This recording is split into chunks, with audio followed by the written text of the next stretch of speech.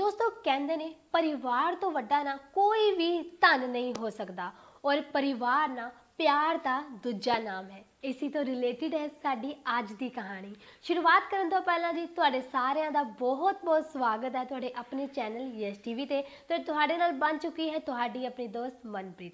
ਤੇ ਦੋਸਤੋ, ਆਓ ਜਾਣਦੇ ਹਾਂ ਅੱਜ ਦੀ ਕਹਾਣੀ ਦੇ ਵਿੱਚ। ਦੋਸਤੋ, ਇੱਕ ਵਾਰ ਦੀ ਗੱਲ ਹੈ, ਇੱਕ ਵਾਰੀ ਇੱਕ ਜੰਗਲ 'ਚ ਨਾ ਬਹੁਤ ਸਾਰੇ ਹਿਰਨ ਰਹਿੰਦੇ ਸੀ। ਉਹਨਾਂ ਹਿਰਨਾਂ ਦੇ ਵਿੱਚ ਨਾ ਇੱਕ ਹਿਰਨੀ ਸੀ, ਜਿਹਦਾ ਨਾਮ ਸੀ ਸੁਰੀਲੀ ਔਰ ਉਹਦੀ ਇੱਕ ਕੁੜੀ ਵੀ ਸੀ, ਉਹਦਾ ਨਾਮ ਸੀ ਮ੍ਰਿਗਨੈਣੀ ਉਹ ਜਿਹੜੀ ਕੁੜੀ ਹੈਗੀ ਮ੍ਰਿਗਨੈਣੀ ਉਹ ਹਮੇਸ਼ਾ ਆਪਣੀ ਮੰਮੀ ਦੇ ਨਾਲ ਹੀ ਰਹਿੰਦੀ, ਯਾਨੀ ਕਿ ਸੁਰੀਲੀ ਦੇ ਨਾਲ ਹੀ ਰਹਿੰਦੀ, ਜਿੱਥੇ ਵੀ ਜਾਂਦੀ, ਸੁਰੀਲੀ ਦੇ ਨਾਲ ਹੀ ਜਾਂਦੀ, ਉਹਦੇ ਨਾਲ ਹੀ ਖੇਡਦੀ, ਉਹਦੇ ਨਾਲ ਹੀ ਸੌਂਦੀ, ਮਤਲਬ ਕਿ ਉਸੇ ਦੇ ਨਾਲ ਹੀ ਰਹਿੰਦੀ ਸੀ। ਇੱਕ ਦਿਨ ਕੀ ਹੋਇਆ ਜੀ, ਉਹ ਜੰਗਲ ਦੇ ਵਿੱਚ ਘੁੰਮ ਰਹੀ ਸੀ ਆਪਣੀ ਮੰਮੀ, ਯਾਨੀ ਕਿ ਹਿਰਨੀ ਸੁਰੀਲੀ ਦੇ ਨਾਲ। ਤੇ ਜੀ ਉਹ ਆਪਣੇ ਭੋਜਨ ਦੇ ਤਲਾਸ਼ ਦੇ ਵਿੱਚ ਜਾ ਰਹੇ ਸੀ। ਅਚਾਨਕ ਕੀ ਹੋਇਆ ਜੀ, ਜਦੋਂ ਥੋੜੀ ਦੂਰ ਗਏ ਤਾਂ ਉਹਨਾਂ ਨੇ ਵੇਖਿਆ ਕਿ ਅੱਗੂ ਨਾ ਜਿਹੜੇ ਦੋ ਗਿੱਦੜ ਭੱਜਦੇ ਆ ਰਹੇ ਨੇ ਤੇ ਜਦੋਂ ਸੁਰੀਲੀ ਨੇ ਇਹ ਵੇਖਿਆ ਉਹ ਤਾਂ ਬਹੁਤ ਹੀ ਜ਼ਿਆਦਾ ਹੈਰਾਨ ਹੋ ਗਈ ਵੀ ਇਹ ਕੀ ਹੋ ਗਿਆ। ਹੁਣ ਮੈਂ ਹੈ ਵੀ ਇੱਥੇ ਇਕੱਲੀ ਔਰ ਮੇਰੇ ਨਾਲ ਜਿਹੜੀ ਕੁੜੀ ਉਹ ਸਿਰਫ ਔਰ ਸਿਰਫ 5 ਮਹੀਨੇ ਦੀ, ਯਾਨੀ ਕਿ ਜੋ ਮ੍ਰਿਗਰੈਣੀ ਸੀ, ਉਹ 5 ਮਹੀਨੇ ਦੀ ਸੀ। ਉਹ ਇੰਨਾ ਤੇਜ਼ ਵੀ ਭੱਜ ਨਹੀਂ ਸਕਦੀ ਸੀ। ਇਸ ਗੱਲ ਤੇ ਜਿਹੜੀ ਸੁਰੀਲੀ ਸੀ, ਉਹ ਬਹੁਤ ਹੀ ਜ਼ਿਆਦਾ ਪਰੇਸ਼ਾਨ ਹੋ ਗਈ ਵੀ ਹੁਣ ਮੈਂ ਕੀ ਕਰਾਂ। ਜਦੋਂ ਗਿੱਦੜ ਉਹਦੇ ਕੋਲ ਆ ਗਏ ਤੇ ਉਹ ਤਾਂ ਜੀ ਬਹੁਤ ਹੀ ਜ਼ਿਆਦਾ ਪਰੇਸ਼ਾਨ ਹੋ ਗਈ।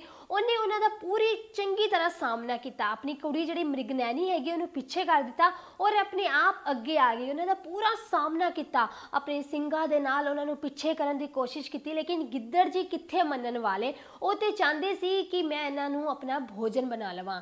ਲੇਕਿਨ ਜੀ, ਜਿਹੜੀ ਮਾਂ ਹੁੰਦੀ ਹੈ ਨਾ, ਉਹ ਕਦੀ ਵੀ ਆਪਣੇ ਬੱਚੇ ਤੇ ਆਂਚ ਨਹੀਂ ਆ ਦਿੰਦੀ, ਭਾਵੇਂ ਕੁਝ ਵੀ ਹੋ ਜਾਏ। ਐਸਾ ਹੀ ਹੋਇਆ ਜੀ, ਸੁਰੀਲੀ ਨੇ ਪੂਰਾ ਜ਼ੋਰ ਲਾ ਦਿੱਤਾ, ਆਪਣੀ ਪੂਰੀ ਤਾਕਤ ਲਾ ਦਿੱਤੀ। ਕਾਫੀ ਟਾਈਮ ਤੱਕ ਉਹਦੇ ਨਾਲ ਲੜਦੀ ਰਹੀ। ਜਿਹੜੇ ਗਿੱਦੜ ਸੀ, ਉਹ ਵੀ ਕਿਹੜੇ ਘੱਟ ਸੀ? ਉਹ ਵੀ ਲੜਦੇ ਗਏ, ਮਤਲਬ ਕਿ ਲੜਾਈ ਲਗਾਤਾਰ ਹੁੰਦੀ ਗਈ। ਲੇਕਿਨ ਜੀ ਸੁਰੀਲੀ ਜਿਹੜੀ ਸੀ ਨਾ, ਉਹ ਕਿੱਥੇ ਹਾਰ ਮੰਨਣ ਵਾਲੀ? ਉਹਨੇ ਪੂਰੀ ਤਾਕਤ ਲਗਾ ਦਿੱਤੀ ਗਿੱਦੜਾਂ ਨੂੰ ਪਿੱਛੇ ਕਰਨ ਨੂੰ। ਐਨੇ 'ਚ ਕੀ ਹੋਇਆ ਜੀ? ਦੂਰੋਂ ਹੀ ਜਿਹੜਾ ਹਿਰਨਾਂ ਦਾ ਝੁੰਡ ਹੈਗਾ ਸੀ ਨਾ, ਉਹਨਾਂ ਨੇ ਕਿੱਥੇ ਵੇਖ ਲਿਆ ਕਿ ਭਈ ਗਿੱਦੜ ਜਿਹੜੇ ਹੈਗੇ ਨੇ, ਉਹਨਾਂ ਨੇ ਹਮਲਾ ਕਰ ਦਿੱਤਾ ਉਹਨਾਂ ਤੇ ਤੇ ਉਹ ਵੀ ਉੱਥੋਂ ਭੱਜਦੇ ਆ ਗਏ। ਤੇ ਜਿਹੜੇ ਗਿੱਦੜ ਸੀ, ਉਹਨਾਂ ਨੇ ਵੇਖ ਲਿਆ ਵੀ ਹੁਣ ਤਾਂ ਹੀਰਨੀ ਤੇ ਜਿਹੜਾ ਝੁੰਡ ਹੈਗਾ ਵੇ, ਉਹ ਆ ਗਿਆ ਵੇ।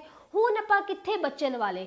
ਤਾਂ ਵੀ ਜੀ ਜਿਹੜੀ ਸੁਰੀਲੀ ਸੀ, ਉਹਨੇ ਪੂਰੀ ਤਾਕਤ ਨਾਲ ਉਹਨਾਂ ਨੂੰ ਪਕੜੀ ਰੱਖਿਆ, ਜਾਨ ਨਹੀਂ ਦਿੱਤਾ। ਮਤਲਬ ਕਿ ਜੀ, ਜਾਨ ਨਹੀਂ ਦਿੱਤਾ, ਮਤਲਬ ਇਹ ਹੈ ਕਿ ਪੂਰੀ ਤਾਕਤ ਦੇ ਨਾਲ ਆਪਣੀ ਕੁੜੀ ਕੋਲ ਉਹਨਾਂ ਨੂੰ ਜਾਨ ਨਹੀਂ ਦਿੱਤਾ। ਉਹਨਾਂ ਦੇ ਵਿੱਚ ਤਗੜੀ ਲੜਾਈ ਹੋ ਰਹੀ ਸੀ, ਬਚਾਉਣ ਦੀ ਕੋਸ਼ਿਸ਼ ਹੋ ਰਹੀ ਸੀ। ਇਹਨਾਂ 'ਚ ਜਿਹੜੀ ਉਹ ਝੁੰਡ ਹੈਗਾ ਸੀ, ਉਹ ਉਹਨਾਂ ਦੇ ਕੋਲ ਆ ਗਿਆ। ਜਦੋਂ ਕੋਲ ਆਇਆ ਤੇ ਗਿੱਦੜ ਤਾਂ ਪੂਰੀ ਤਰ੍ਹਾਂ ਡਰ ਗਏ। ਉਹਨਾਂ ਨੇ ਕੀ ਕੀਤਾ ਜੀ? ਉਹਨਾਂ ਨੇ ਆਪਣਾ ਸਾਰਾ ਕੰਮ ਤਮ ਛੱਡਿਆ, ਮਤਲਬ ਕਿ ਲੜਾਈ ਛੱਡੀ ਔਰ ਉੱਥੋਂ ਭੱਜ ਗਏ। ਤੇ ਜਿਹੜੀ ਸੁਰੀਲੀ ਸੀ, ਉਹ ਆਪਣੀ ਕੁੜੀ ਮ੍ਰਿਗਨੈਣੀ ਨੂੰ ਆਪਣੇ ਕੋਲ ਲੈ ਕੇ ਆਈ ਤੇ ਬਹੁਤ ਹੀ ਜ਼ਿਆਦਾ ਖੁਸ਼ ਹੋਈ। ਤੇ ਇਹਦੇ ਨਾਲ ਜਿਹੜੇ ਹੀਰਨਾ ਦਾ ਝੁੰਡ ਸੀ, ਉਹ ਵੀ ਬਹੁਤ ਹੀ ਜ਼ਿਆਦਾ ਖੁਸ਼ ਹੋਇਆ। ਦੋਸਤੋ, ਇਸ ਕਹਾਣੀ ਦੇ ਨਾਲ ਕੀ ਸੀਖ ਮਿਲਦੀ ਹੈ ਇਸ ਕਹਾਣੀ ਦੇ ਨਾਲ ਸਾਨੂੰ ਕਾਫੀ ਸਿੱਖ ਮਿਲਦੀ ਹੈ ਕਿ ਮਾਂ ਕਦੀ ਵੀ ਆਪਣੇ ਬੱਚੇ ਦਾ ਸਾਥ ਨਹੀਂ ਛੱਡਦੀ। ਭਾਵੇਂ ਕੋਈ ਵੀ ਮੁਸੀਬਤ ਆ ਜਾਵੇ, ਕੋਈ ਵੀ ਸੰਕਟ ਆ ਜਾਵੇ, ਮਾਂ ਹਰ ਮੁਸੀਬਤ ਦੇ ਵਿੱਚ ਆਪਣੇ ਬੱਚੇ ਦੇ ਨਾਲ ਖੜੀ ਹੁੰਦੀ ਹੈ ਉਹਦਾ ਡਟ ਕੇ ਸਾਹਮਣਾ ਕਰਦੀ ਹੈ ਕਿ ਮੇਰੇ ਬੱਚੇ ਨੂੰ ਕੋਈ ਆਂਚ ਨਾ ਆਵੇ। ਤੇ ਦੂਜੀ ਸਿੱਖ ਸਾਨੂੰ ਕੀ ਮਿਲਦੀ ਹੈ ਕਿ ਸਾਨੂੰ ਪਰਿਵਾਰ ਦੇ ਨਾਲ ਰਹਿਣਾ ਚਾਹੀਦਾ ਹੈ ਜਿਵੇਂ ਕਿ ਸ਼ੁਰੂਆਤ ਤੇ ਮੈਂ ਤੁਹਾਨੂੰ ਦੱਸਿਆ ਸੀ, ਪਰਿਵਾਰ ਪਿਆਰ ਦਾ ਦੂਜਾ ਨਾਮ ਹੈ। ਜੇਕਰ ਪਿਆਰ ਹੋਏਗਾ ਨਾ ਤੇ ਪਰਿਵਾਰ ਜਿਹੜਾ ਹੈ ਨਾ, ਉਹ ਹਮੇਸ਼ਾ ਬਣਿਆ ਰਹੇਗਾ। ਜੇਕਰ ਪਰਿਵਾਰ ਦੇ ਵਿੱਚ ਪਿਆਰ ਨਹੀਂ ਹੈ, ਤਾਂ ਫਿਰ ਉਹ ਕਦੀ ਵੀ ਨਹੀਂ ਬਣਿਆ ਰਹੇਗਾ। ਔਰ ਪਰਿਵਾਰ ਦਾ ਸਾਥ ਹੋਣਾ ਬਹੁਤ ਜ਼ਿਆਦਾ ਜ਼ਰੂਰੀ ਹੈਗਾ ਵੇ। ਜੇਕਰ ਪਰਿਵਾਰ ਨਾਲ ਹੈ, ਤਾਂ ਤੁਸੀਂ ਵੱਡੀ ਤੋਂ ਵੱਡੀ ਚੁਣੌਤੀ ਦਾ ਵੀ ਸਾਹਮਣਾ ਕਰ ਸਕਦੇ ਹੋ। ਇਸ ਲਈ ਦੋਸਤੋ, ਇਹੀ ਕਹਿਣਾ ਚਾਹਾਂਗੀ ਕਿ ਹਮੇਸ਼ਾ ਆਪਣੇ ਪਰਿਵਾਰ ਦੇ ਨਾਲ ਰਹੋ। ਕਦੀ ਵੀ ਉਹਨਾਂ ਤੋਂ ਅਲੱਗ ਨਾ ਹੋਵੋ। ਇਸੇ ਦੇ ਨਾਲ ਦੋਸਤੋ, ਤੁਹਾਡੀ ਦੋਸਤ, ਤੁਹਾਡੇ ਕੋਲ ਹੈ ਇਜਾਜ਼ਤ। ਜ਼ਰੂਰ ਦੱਸਿਓ, ਅੱਜ ਦੀ ਕਹਾਣੀ ਤੁਹਾਨੂੰ ਕਿੱਦਾਂ ਕਿੱਦਾਂ ਦੀ ਲੱਗੀ ਤੇ ਨਾਲ ਹੀ ਨਾਲ ਜੀ ਚੈਨਲ ਨੂੰ ਸਬਸਕ੍ਰਾਈਬ ਵੀ ਜ਼ਰੂਰ ਕਰਿਓ। ਫਿਰ ਮਿਲਾਂਗੇ ਨਵੀਂ ਕਹਾਣੀ ਦੇ ਨਾਲ ਤੁਹਾਡੇ ਆਪਣੇ ਚੈਨਲ ਯੈਸ ਟੀਵੀ ਤੇ। ਸਤਿ ਸ਼੍ਰੀ ਅਕਾਲ।